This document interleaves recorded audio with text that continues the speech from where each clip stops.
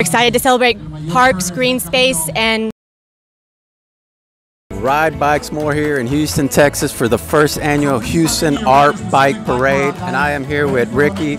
Remember to follow on Instagram and Facebook and YouTube if you're not already because it makes you feel good. Uh, we're here, man, for the first ever Houston Art Bike Festival. We've been playing this thing for about three years. We're finally at a chance now where we can see all the great creativity from the kids and the students of HISD.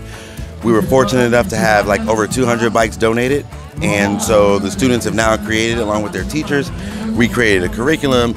It's going down, so we're just so excited to be here, man. It's, it's a super fun time. We're really we're looking for creativity. You know, we want to see how the bikes will transform and the imagination of the students and how they applied what they learned in the classroom to a mobile work of art. Bikes are way more accessible um, for students, and so this is a great way to have them express their creativity.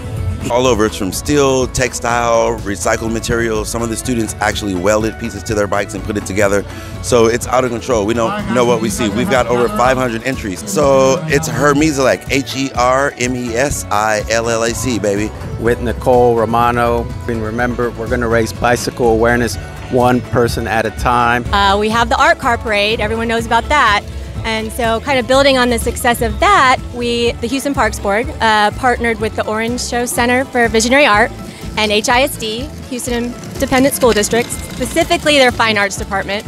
Um, we donated about 250 bikes to them two years ago to decorate themselves and be part of this day. Finally, having this event today. It is in three locations MacGregor Park, where we are right now, and then Fondy Park, which is down the Greenway Trail, and then in Smither Park. And so there's a parade inside the MacGregor right now, and then the group will head over to Fondy, where there's some more fun activities, face painting, food, drinks, all sorts of stuff. And then the party will end at Smither Park, where there'll be a, an award ceremony.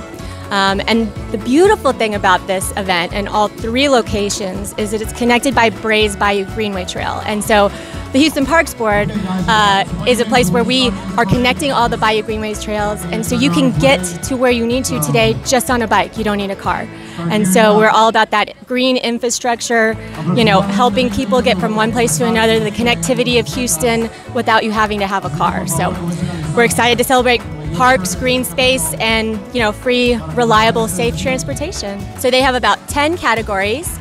And HISD students, uh, the top 10, they're, they're different categories. Some of them are like show your school spirit, some are things like most colorful. Um, they'll each be given, they or their school will be given a $500 gift certificate at the award ceremony. And then there are three community awards, and those are more like bragging rights. So that next year, when they come back, they can be like, I won last year.